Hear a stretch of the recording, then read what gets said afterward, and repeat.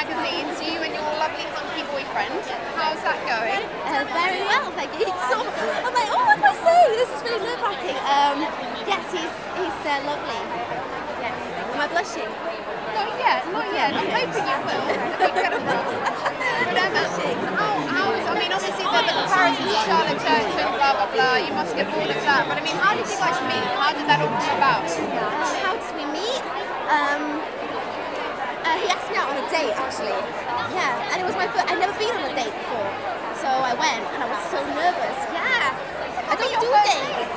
No, I'm too scared. I mean, I would say the wrong thing or embarrass myself, and I just, yeah, I just, I just went one night, and, and uh, yeah, I kind of fell in love, I guess. So it is the big L, the big love there. Yeah, I guess so. Yeah, yeah. Oh, brilliant. Um,